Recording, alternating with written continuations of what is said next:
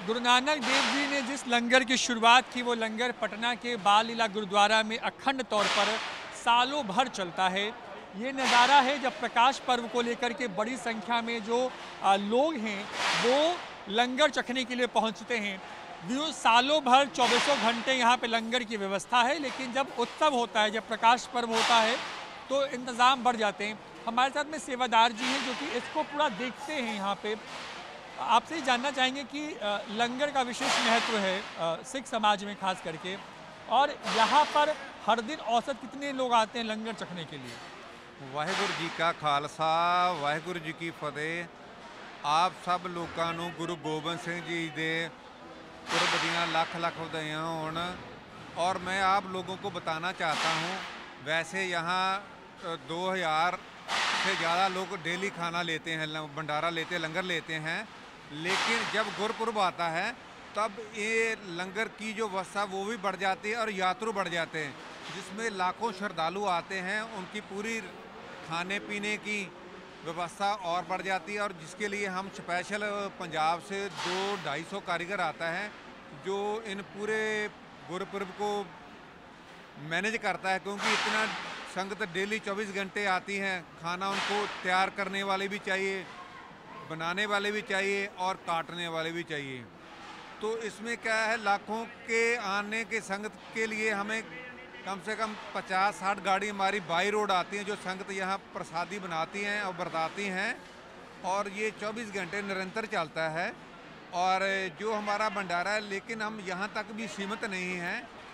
हमने जो पटना में सरकारी हॉस्पिटल है, वहाँ भी हमारा डेली 1500 2000 आदमी को डेली वहाँ भी खाना जाता है। जो या जो पेशेंट के संग में आते हैं, उनको, क्योंकि वो अपना खाना तो बना नहीं सकते, लेकिन उनके लिए भी हम खाने की व्यवस्था करके देते हैं कि घर वाले पीछे जो रहते वो ना भूखे रह जाएँ। सर, आपके साथ थोड़ा सा आगे हम लोग आएँगे और बात भी करते चलेंगे। दरअसल पटना की बात करें तो पटना के इस गुरुद्वारे में बड़ी संख्या में जो लोग हैं, वो आते हैं और इस, और और इस तरीके से देखिए, यहाँ पे थोड़ा किचन का एरिया है ये।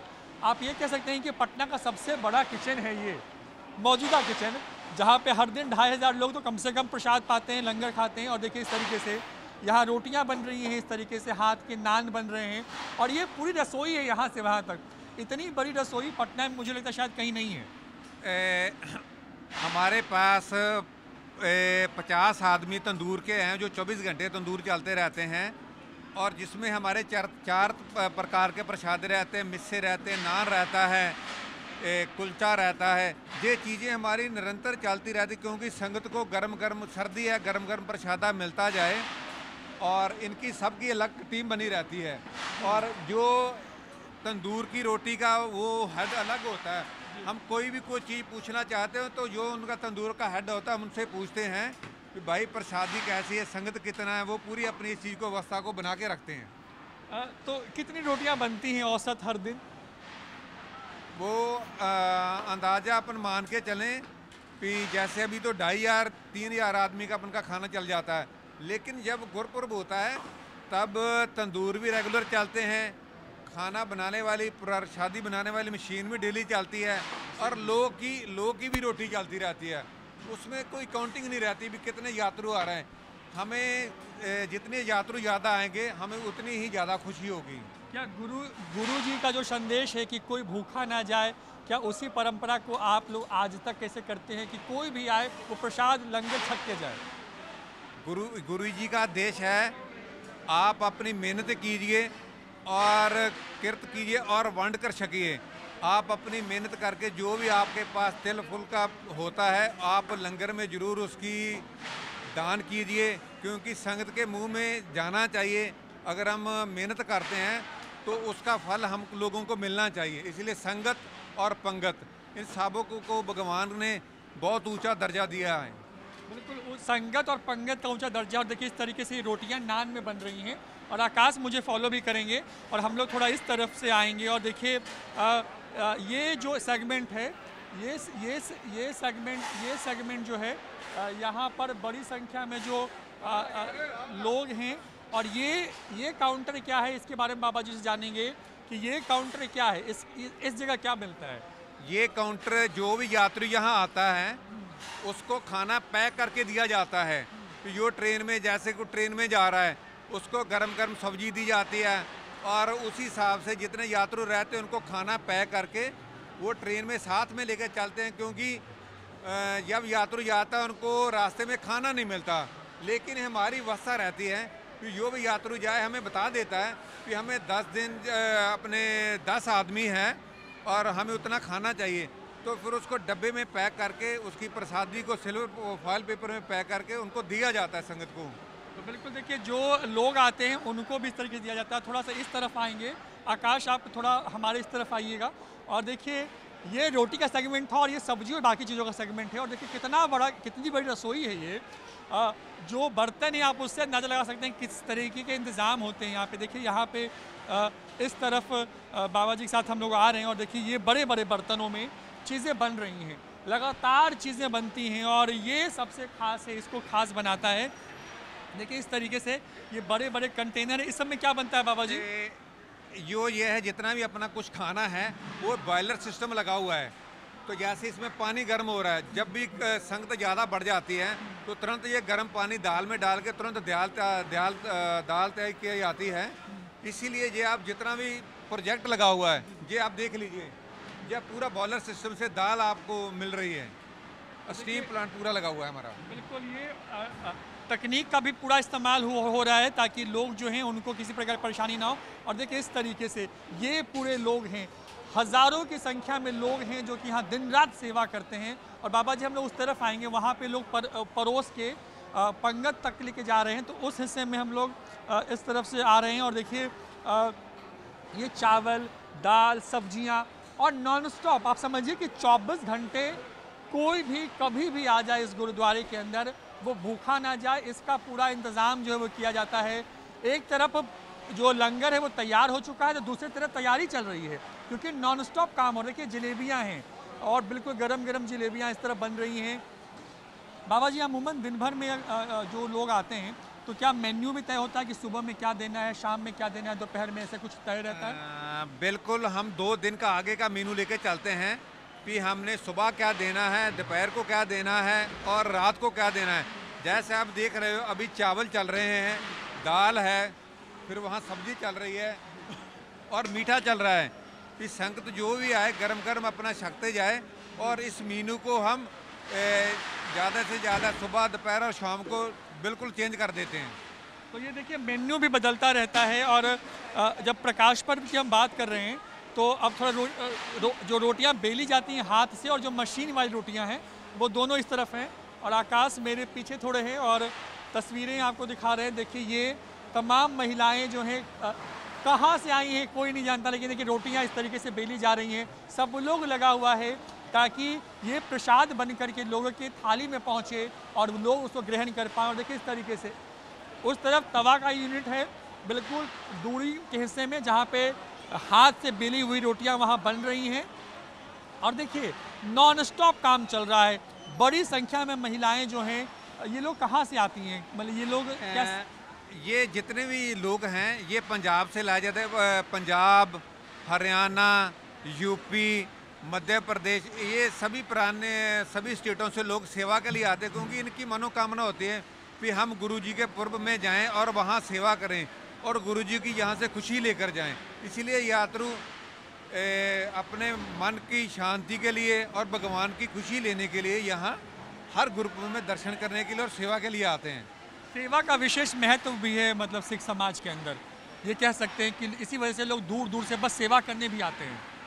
क्योंकि इन लोगों के मन में श्रद्धा है क्योंकि सेवा और सिमरन दो चीज़ें ही हैं जो साथ में जाती हैं। बाकी जो भी अपनी प्रॉपर्टी जो वो तो हम यहीं छोड़ जाएँगे।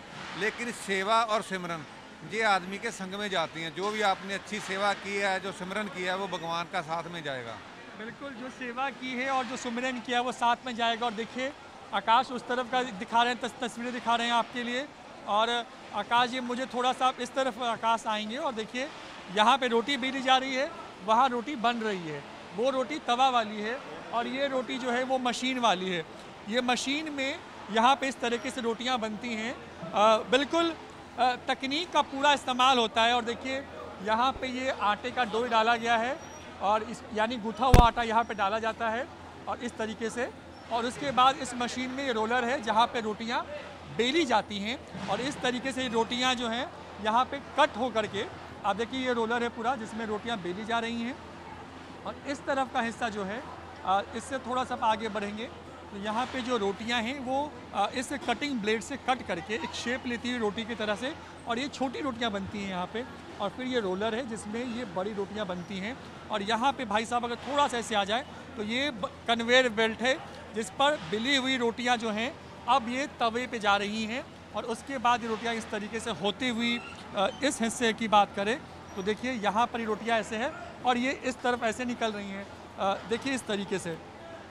ये है ये पूरा यूनिट है और ताकि जब भीड़ बहुत हो जाए, फिर भी परेशानी ना हो, लिहाजा तकनीक का पूरा ख्याल रखा गया है और दो मशीनें हैं। एक ये अभी फंक्शनल हैं, क्योंकि भीड़ बढ़ना शुरू हो गई है, और दूसरी अभी यहाँ पर बतौर स्टैंड बाई भी है ताकि जब और भीड़ बढ़ जाए तो इसको करें। तो ये रोटी किस तरीके से बनती है मशीन से, न्यूज़ फॉर नेशन आपको दिखा रहा है, तस्वीरों में देखिए। रोटी को प्रसादा कहते हैं। हाँ प्रसादा कहते हैं। ये ये क्यों? मतलब ये क्या कारण है? और मैं मैंने देखा है कि लोग हाथ में इस तरीके से करके प्रसादा लेते हैं। क्योंकि कोई भी चीज़ अपन ने भगवान से लेनी है तो दो हाथ करके अपन लेते हैं। इसीलिए प्रसाद क्योंकि ये गुरु जी का प्रसाद है तो प्रसाद दोनों हाथों में लिया जाता है। क्योंकि भगवान की दी हुई चीज़ है तो उनको अगर अपन हाथ में लेंगे तो उसका महत्व एक बहुत बड़ा हो जाता है कि भगवान का प्रसाद हमारी किस्मत अच्छी है भाई हमें भगवान का प्रसाद मिल रहा है। तो किस्मत अच्छी है भगवान का प्रसाद मिल रहा है। ये ये जो रोटी वाली मशीन है उस मशीन के माध्यम से रोटियाँ बनती हैं। कितनी रोटियाँ बना देते हैं ये दिन भर में? एक एक घंटे में ढाई हज़ार प्रसादी बनती है दो टू थाउज़ेंड फाइव हंड्रेड प्रसादी बनती है घंटे में। एक घंटे में ढाई हज़ार रोटियाँ इस मशीन से बनाई जाती हैं। और ये मशीन है और देखिए इस तरफ़ से फ़िलहाल हम लोग थोड़ा आगे वाले सेगमेंट में चलेंगे जहाँ पर चीज़ें चल रही हैं। और और चल रही हैं अच्छा तो हम लोग ऊपर के सेगमेंट में चलेंगे ये रसोई पे नहीं देखी होगी। तो आकाश हमारे साथ रहेंगे और उसके बाद हम ऊपर के सेगमेंट में चलेंगे। और व, और वह और वहाँ से जो है इस लिफ्ट के थ्रू ये ट्रॉली नुमा एक लिफ्ट है। और इससे हम ऊपर चलेंगे और इस लिफ्ट से ऊपर में क्या कुछ चल रहा है वो दिखाएँगे आपको। पहली बार ये ये ये आप देखेंगे कि ऊपर में भी एक किचन है और उस किचन में किस तरीके से काम चलता है। ये लंगर हॉल है आपके ठीक सामने। ये पूरा नीचे का बेस रसोई है और ऊपर के हिस्से में जा रहे हैं। वहाँ पर भी एक बड़ी रसोई है जहाँ पर भी प्रसाद जो है वो चलता रहता है। तो न्यूज़ फॉर नेशन पहली बार पटना के सबसे बड़े किचन से, गुरु के किचन से आपके लिए तस्वीरें लेकर के आया है। जहाँ पे रोटी बनने की मशीन है रोटी बेलने की मशीनें हैं सब्ज़ी चावल दाल मिठाइयाँ सब कुछ बन रहा है।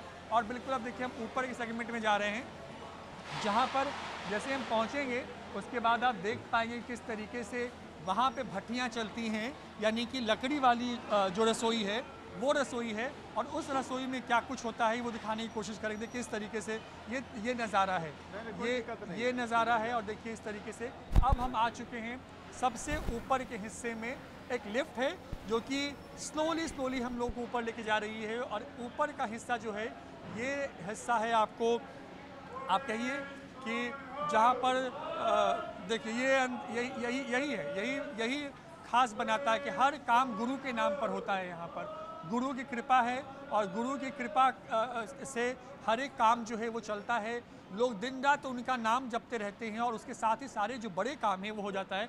और देखिए इस तरीके से ये पूरा सेगमेंट है जहाँ पर अभी किचन चल रहा है और इस तरीके से देखिए हम सब आ गए हैं और इसको खोलते हैं थोड़ा सा। देखिए ये अलग अलग इस तरीके से ये मिठाइयाँ बन रही हैं शायद। बेसन की बर्फ़ी बनी हुई है। आप आगे चले जाइए, प्याज कट रहे हैं। और सुबह के लिए तैयार हो रहे हैं कि आप पकौड़े हैं, उसको अभी कच्चा किया जा रहा है। तो देखिए, ये प्याज है इस तरीके से, जो सुबह का रॉ मटेरियल है, वो इस तरीके से यहाँ पे तैयार होता है और यहाँ पर इस तरीके से, देखिए किस तरीके से यहाँ पे जो लोग हैं, वो यहाँ पे किस तरीके से ये लगे हुए हैं और देखिए उस तरफ़, ये चीज़ें दिन की सुबह के लिए तैयार हो रही हैं। यानी कि सुबह सुबह भी हर चीज़ उपलब्ध हो, ये नाश्ते की चीज़ें हैं। और देखिए, लगातार जो हैं इस तरीके से हम यहाँ पे पहुँचे हैं। बाबा, ये सब सुबह के लिए मतलब इतना मैनेजमेंट स्ट्रॉन्ग कि मतलब आप हर वक्त का ख्याल रखते हैं, सुबह से लेकर रात तक, कोई परेशानी ना हो। तो इसलिए कुछ ना कुछ चीज़ें चलती रहती हैं। क्योंकि ये चीज़ें जैसे अभी हमने कच्ची कर ली सुबह संगत इतना ज़्यादा हो जाती हैं। कुछ पकौड़े वगैरह जैसे फिंगर्स हैं, पालक पकौड़ा है मिक्स पकौड़ा है, इनको अभी से रेडी कर लेते हैं, क्योंकि सुबह तीन चार बजे जब चाय का अपना शुरू हो जाता है ना, उसमें हम चार, तीन या चार तरह का पकौड़ा देते हैं और दो तरह का मीठा होता है, जिसमें बेसन की बर्फ़ी हो जाती है शक्कर पारा हो जाता है, कई बार गुड़ का शक्कर पारा रहता है, कई बार खंड का शक्कर पारा रहता है और मट्ठी रहती है नमकीन के लिए। ये सब चीज़ें हम लेके चलते हैं क्योंकि सुबह सुबह जब भी आदमी चाय पीता को खाली कोई खाली पेट लेता नहीं है। और इन चीज़ों की हम, ये आज नहीं जब से भंडारे चल रहे हैं महाराज जी इस चीज़ को लेके चलते हैं। फिर निरंतर सुबह जो यात्रु है उसको गर्म गर्म पकौड़ा मिले और सर्दी में ये चीज़ उनको बहुत पसंद लगती है लोगों को। वो गर्म गर्म सकते हैं बाबा ये हम जानना चाहते हैं कि क्योंकि जब तैयारियाँ इतने बड़े स्तर पर होती हैं तो ये चीज़ें आती कहाँ से? जो रॉ मटेरियल रहता है क्या भक्त पहुँच देते हैं या जो कमेटी है वो इसको मंगवाती है खरीदती है? ये चीज़ें क्योंकि जब इतनी बड़ी संख्या में लोग आते हैं तो रॉ मटेरियल बहुत चाहिए होता होगा। तो जितना भी जैसे ये अब बड़ा कार्यक्रम रहता है, इसके लिए हमारे पास दो स्टोर रहते हैं। जैसे ये ऐसे यात्रों की किसी के मन की तमन्ना, कोई हमें बेसन दान कर देता, कोई शक्कर दे देता, कोई घी दे देता है, कुछ चीज़ें हमें दान में आ जाती हैं और कुछ चीज़ें हम बाहर करते हैं। क्योंकि इतने बड़े चीज़ के लिए हमें सब चीज़ें स्टॉक करनी पड़ती है। सिटी है ना, सिटी में फिर लाने और जाने के लिए बड़ी दिक्कत रहती है। और उसके लिए हमने दो गडाउन रखे हुए हैं। एक बड़ा मंगल तालाब में गडाउन हायर किया हुआ, वो रखते हैं। और बाकी एक गडाउन हमारा गुरुद्वारे के परिसर के अंदर में होता है, क्योंकि दिन में रश रहता है, वो पूरे का पूरा जितना भी स्टॉक रहता है, वो रात को हम छोटे अपने जो स्टोरेज है गुरुद्वारे के अंदर, उसमें ले आते हैं। तो देखिए, इस तरीके से पूरी कढ़ाइयाँ हैं जहाँ पे पकौड़े सुबह के लिए तैयार हो रहे हैं। ये है पटना की सबसे बड़ी रसोई, जहाँ पर हर दिन औसतन ढाई हज़ार लोग प्रसाद चखते हैं, लंगर खाते हैं। और जैसे और जैसे ही आप जब थोड़े और व्यस्त हो जाते मतलब जब भीड़ हो जाती है तब ये संख्या लाखों में पहुँच जाती है और कोई भी आदमी बिना प्रसाद पाए लंगर छके ना जाए, इसका ख्याल रखते ये इंपॉर्टेंट है और यही खासियत है कि न्यूज़ फोर नेशन ने आपको पटना के सबसे बड़े किचन में हम इसलिए लेकर के आए ताकि हम दिखा पाएँ आपको कि तैयारियाँ किस तरीके की होती हैं और क्या चीज़ चलती है। देखिए, इस तरह सुबह के लिए यहाँ पे फिंगर फ्राइज़ हैं दूध बन रहा है, कहीं पे पाला के पकौड़े हैं और कढ़ाइयाँ जो है लगी हुई हैं और ये इंतज़ाम है इसके सेवादार हैं जो कि इस चीज़ों को बहुत माइंडली देखते हैं। कोशिश ये होती है कि कहीं किसी प्रकार की कोई परेशानी ना हो। उस तरह भी कोई सेगमेंट है? हाँ सेगमेंट है। अच्छा उधर भी किचन है देखिए। अभी अभी अब अभी तक जो आप दो सेगमेंट में आए हैं यहाँ पे हम थोड़ा सा दो सेगमेंट में आप आए। नीचे किचन देखा जो बेस किचन है ऊपर किचन जो जो रॉ मटेरियल किचन है। और देखिए ये किचन से तैयार होकर जलेबियाँ आ रही हैं जो कि अभी नीचे में लंगर में लोग छक रहे हैं। इस तरीके से देखिए।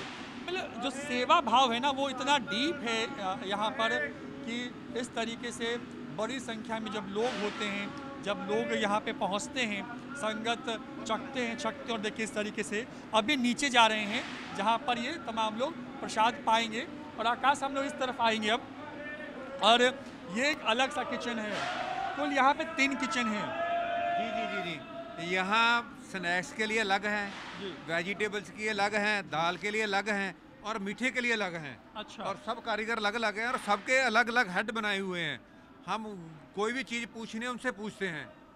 देखिए ये पूरा भी एक किचन है जो मिठाइयों वाला शायद सेगमेंट है जहाँ पे जलेबियाँ बन रही हैं बाकी चीज़ें तैयार होकर रह रही हैं ताकि तुरंत में संगत आ जाए तो तुरंत में चीज़ें बन जाए। और देखिए इस तरीके से आ, सेवा ही जो है ना सेवा ही आ, सब कुछ आप ये कह सकते हैं। और देखिए सेवा को ही खास बनाता हुआ यहाँ पे ये पूरा लोग कारीगर हैं जो कि दूर दूर से आते हैं। सेवा करने संगत में जो लोग आएँगे उनको प्रसाद मिल पाए।